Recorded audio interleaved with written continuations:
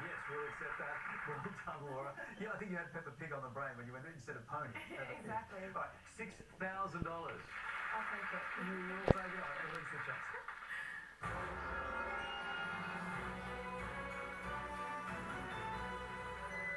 Hello, Laura. Hiya. It's such a coincidence. Sassy Little Minx was my disco name in the 70s.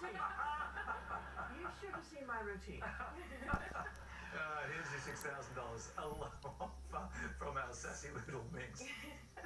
$1,500. Or what about a high offer of? $40,000. You are a sassy mix. I am. um, no, I'm gonna, I'm gonna be a coward here and go for my, and go for the six. Yeah.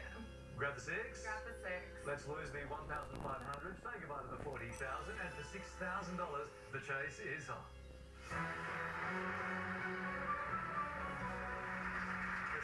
First question.